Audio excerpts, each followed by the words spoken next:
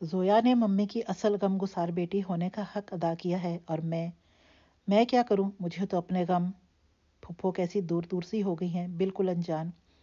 شاید کسی نے اسے آواز دی تھی، وہ گہرا سانس لیتے ہوئے پلٹ کر جانے لگی کہ ایک دم پیچھے سے کسی نے اس کا ہاتھ پکڑ کر اپنی طرف کھینچا تھا۔ وہ ذہنی اور جسمانی طور پر اس کے لیے تیار نہیں تھی۔ سو اسی جھونک میں کھینچنے والے کی طرف کھینچتی چلی گئی۔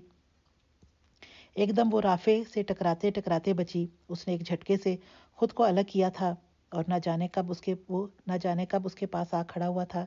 اسے پتہ بھی نہیں چلا تھا۔ یہ کیا مذاق ہے؟ وہ اپنا ہاتھ چھڑانے کے لیے زور لگاتے ہوئے بولی، یہ مذاق نہیں، میرے صبر کی انتہا ہے۔ وہ گہری آواز میں بولا، صبر یا تماشا؟ وہ دانت کچ کچا کر بولی اور اپنا ہاتھ کھینچنے لگی۔ تماشا ہاں یہ لفظ ٹھیک ہے۔ ہم دونوں شروع سے اب تک جن ڈرامائی موڑ سے گزر کر یہاں تک پہنچے ہیں، اب ایک تماشا، ایک کہانی کہا جا سکتا ہے۔ ایک ایسی کہانی جو آنسو میں بھیگی ہوئی ہے۔ اب یہ تمہارے اور میرے ہاتھ میں ہے کہ ہم اسے المنیا المیہ انجام سے دو چار کرتے ہیں یا تربیہ۔ وہ اسی طرح اس کا ہاتھ اپنے مضبوط ہاتھ کی گرفت میں لیے، مزے سے بولا اچھا پلیز میرا ہاتھ چھوڑیے اور یہ کہانیاں بنانے یا سنانے کی ضرورت نہیں۔ آپ جو کچھ اپنے دل میں آپ نے جو کچھ اپنے دل میں سوچ رکھا ہے اور اس روتی بصورتی کہانی کو جو بھی انجام دینے کا فیصلہ کر رکھا ہے، مجھے سنا دیجیے میں ہر طرح کا انجام سہنے کے لیے تیار ہوں۔ اب اس تکلیف دہ ڈرامے میں، ڈرامے نے میرے اعصاب اس قدر تھکا ڈالے ہیں کہ مزید انتظار شاید آپ میرے جان سے گزرنے کا انتظار کر رہے ہیں۔ تمہارا کیا خیال ہے؟ میں نے اتنے دن جو تم سے لا تعلقی اختیار کیا کیے رکھی ہے، وہ کسی فیصلے پر پہنچنے کے لیے تھی؟ وہ شاید اس کی مزاحمت سے محظوظ ہو رہا تھا۔ سو اس کے نازک ہاتھ پر اپنی گرفت اور بھی سخت کر لی۔ توبہ، کتنے ظالم ہیں آپ! کیا توڑیں گے میرا ہاتھ؟ کہتے کہتے اس کی آنکھوں میں آنسو آ گئے۔ ظالم کون ہے؟ ابھی اس کا فیصلہ ہونا باقی ہے۔ لو، چھوڑ دیا ہاتھ۔ ویسے میں نے چھوڑنے کے لیے نہیں پکڑا تھا۔ اس نے کہتے ہوئے ایک دم سے اس کا ہاتھ چھوڑ دیا، جسے دوسرے ہاتھ سے سہلاتے ہوئے۔ وہ ناراض نظروں سے اسے دیکھنے لگی۔ میں فیصلے پر اسی رات پہنچ چکا تھا جب تمہیں ہسپتال چھوڑ کر گیا تھا۔ کیا مطلب؟ وہ اپنے ہاتھ کی تکلیف بھول گئی۔ کیسا فیصلہ؟ اس نے دھڑکتے دل سے پوچھا، تمہیں چھوڑ دینے کا؟ وہ سنجیدگی سے بولا تو اس کا سانس جیسے سینے میں اٹک گیا۔ مجھے بتاؤ، کوئی بھی غیرت مند شوہر جو اپنی بیوی کو کسی غیر مرد کے لاکڈ کمرے سے اس حال میں نکالے اور پھر بھی اسے اپنے سے علیحدہ نہ کرے، تو ایسے مردوں کو ہمارے معاشرے میں کیا کہا جاتا ہے؟ اس رات رستہ بھر یہ خیال میرے دل و دماغ پر کسی تازیانے کی طرح برستا رہا تھا اور شاید میں اس معاشرتی دباؤ میں آ کر اپنے جذبات کا خون کرنے پر بھی تیار ہو جاتا اگر تم وہ چیز اپنے ساتھ زریاب کے کمرے میں نہ لے کر آتی۔ کیا؟ کیا چیز؟ اس نے الجھن بھری نظروں سے اسے دیکھا۔ اس چیز کے متعلق بتانے سے پہلے سن لو کہ اس واقعے کے باوجود اور خود پر اٹھنے والی انگلیوں کا اذیت ناک احساس بھی میرے دل کو تمہیں خود سے علیحدہ کرنے پر مجبور نہیں کر پا رہا تھا۔ وہ چیز اگر مجھے نہ بھی ملتی تو بھی بیا میں تمہیں نہیں چھوڑ سکتا تھا۔ وہ گہرا سانس لیتے ہوئے بولا، وہ بیا جو میرے باپ کے جھوٹے ڈرامے اور بیماری کے ناٹک پر اس سے ہمدردی کرتے ہوئے اپنی ساری رقم اس کی جھولی میں ڈال دے، وہ بیا بد کردار اور بری نہیں ہو سکتی۔ پھر تمہارے دو قرض میرے اوپر واجب الادا تھے۔ ایک رات میرے باپ نے جھوٹ بول کر تمہارے کردار پر کیچڑ اچھالا۔ اس جھوٹ کا بہت بڑا بوجھ تھا میرے سینے پر۔ دوسری وہ شام جب روشی نے نیند آور گولیوں کی آدھی شیشی حلق میں انڈیل کر خودکشی کی کوشش کی تھی، اس شام جب اس کا نکاح ہونے والا تھا اور میں اسے سب طرف ڈھونڈایا تھا اور ٹھیک وہی کچھ ہمارے ساتھ ہونے جا رہا تھا جو میرے باپ نے تمہاری زندگی کے ساتھ کیا تھا۔ اس شام اگر تم مجھے اس بند سٹور میں بے ہوش پڑی روشی کے پاس نہ لے جاتی، جبکہ تمہارے پاس اپنا انتقام لینے کا بہت اچھا موقع بھی تھا۔ اس شام تم نے ہمارا میری بہن کا پردہ رکھا۔ بولو، ایسی لڑکی بری کب ہو سکتی ہے جو موقع ملنے کے باوجود اس کے ساتھ بھلائی کر جائے، جس نے اس کے ساتھ برا ترین کیا ہو؟ اس شام تم نے دوسرا بوجھ میرے کندھوں پر رکھ دیا تھا۔ میں نے اپنے دل میں عہد کیا تھا کہ کبھی زندگی میں موقع آیا تمہارا پردہ رکھنے کا یا کسی بھی بے گناہ کا تو میں ضرور ضرور اس قرض کو اتارنے کی کوشش کروں گا۔ سو اس رات۔ جب تم نے ولید کو فون کر کے بلوایا اور قدرت نے مجھے اپنی آمد سے دو دن پہلے وہاں بھجوا کر وہ فون فون کال سننے کی توفیق دی اور میرے سامنے میرے عہد کو کھڑا کر دیا۔ اس عہد کی وجہ سے میں معاشرے کی کسی بھی گالی کو قبول کرتے ہوئے تمہیں اپنانے کو تیار تھا۔ میں زویا کی شادی کے فوراً بعد تمہیں لے جانا چاہتا تھا۔ تم سے کچھ بھی سوال و جواب کیے بغیر کہ میرے عہد نے مجھے اس کا پابند کر دیا تھا۔ رہ گیا زریاب کا معاملہ۔ تمہیں شاید یاد نہ ہو جب پہلی رات تم ہمارے گھر رہنے کے لیے آئیں اور میں نے تم سے زریاب کے بارے میں پوچھا تو تم نے بڑی نخوت سے جواب دیا تھا، جیسے کسی بہت معتبر انسان کا ذکر آیا ہو۔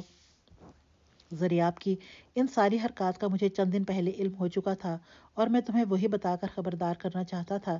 میں نے کہا تھا کہ اگر میں تمہیں کچھ بتاؤں تو تم یقین نہ کرو گی۔ تو تم نے بڑی رکھائی سے کہا تھا کہ یقین کرنا یا نہ کرنا میرا مسئلہ نہیں۔ تمہیں بتاؤں، اس لمحے مجھے اندازہ ہوا تھا کہ مجھے یہ سب باتیں بتانے کا کوئی فائدہ نہیں ہوگا کیونکہ تم یقین نہیں کرو گی۔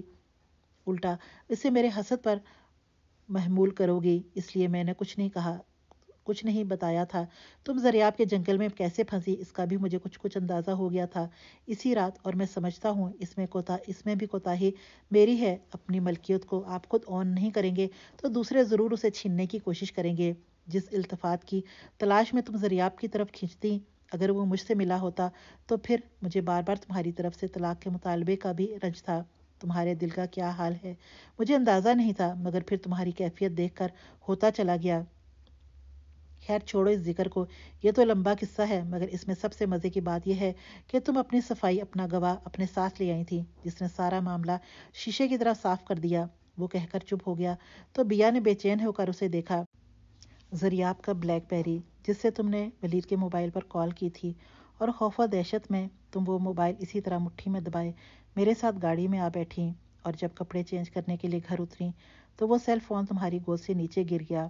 اور اس میں شاید زریاب نے تمہیں بلیک میل کرنے کے لیے سب کچھ ریکارڈ کر رکھا تھا۔ رافع کی بات پر اس کی سانسیں جیسے تھمنے لگیں، جس خوف کے باعث وہ اس سے ملنے گئی تھی، اسی اسی اپنے قتل کے سامان کو اپنے ساتھ اٹھا کر لے آئی۔ تف ہے میری بے وقوفی اور حماقت پر مجھ سے احمق لوگوں کا یقیناً ایک خوشگوار اور کامیاب زندگی پر کوئی حق نہیں ہوتا۔ وہ ایک بار پھر دل ہی دل میں خود کو لان تان کرنے میں مصروف ہو چکی تھی۔ اور اس میں اس آخری شام کی ساری گفتگو بھی ریکارڈ تھی۔ وہ شاید تمہیں مزید ہراساں کرنے کے لیے ریکارڈنگ بٹن پش کر کے واش روم میں چھوڑ آیا تھا اور اسے نہیں معلوم تھا یہ تمہاری بے گناہی پر آخری مہر ثابت ہوگی اور اس کی بدنیتی اور تمہاری مزاحمت و مقصد، کا مقصد سب کچھ واضح تھا۔ وہ کہہ کر یکدم چپ ہو گیا۔ زریاب کی سحر انگیز شخصیت کا بت تمہاری نگاہوں کے سامنے پاش پاش ہونا ضروری تھا۔ ایک کامیاب زندگی کا آغاز کرنے کے لیے بیا کو کافی دیر بعد جیسے اس جملے کی باز گشت اپنے کانوں میں سنائی دی۔ تو تو آپ کو سب کچھ معلوم ہو چکا تھا میری بے گناہی بھی اور زریاب کی خباست بھی۔ وہ بے یقینی سے اسے دیکھتے ہوئے بولی، تو اس نے سر ہاں میں سر ہلا دیا۔ تو اتنے دن، اتنے ڈھیر سارے دن جب آپ ادھر گھر آتے رہے، میرے آس پاس پھرتے، اجنبی نظروں سے تکتے، منہ پھیرتے، آپ کو سب معلوم تھا۔ وہ کہتے ہوئے جارحانہ انداز میں اس کی طرف بڑھی۔ اور اس نے پیچھے ہٹتے ہوئے ایک بار پھر ہاں میں سر ہلا دیا۔ یعنی میری بے بسی کا مذاق اڑاتے رہے، مزہ لیتے رہے۔ وہ اب اس کے بالکل قریب پہنچ چکی تھی۔ وہ اسے بازو سے پکڑ کر کھینچتا پارکنگ کی طرف بڑھ گیا۔ چھوڑے مجھے چھوڑے چھوڑے نہ، کوئی دیکھ لے گا۔